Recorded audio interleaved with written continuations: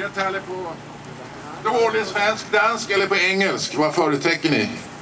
Jag, jag har aldrig lärt mig tala danska. Jag har bott här i 15 år och sånt. Är det okej? Okay? Det var en gång om mina eh, lägersekreterare, hon, hon sporde, jag är också musiker. Uh, och, och, och, hon spurte mig, du som är så musikalsk, du borde kunna tala dansk. Och då sa jag, det är därför jag inte kan tala dansk. Men det är 75 000 samboere på dansk, norsk, svensk med den samma betydning. Ja, ja, jag har mycket vanskligt för det danska ordtal. Det är det, det som är problemet. Ja. Jag bara stänga av min telefon.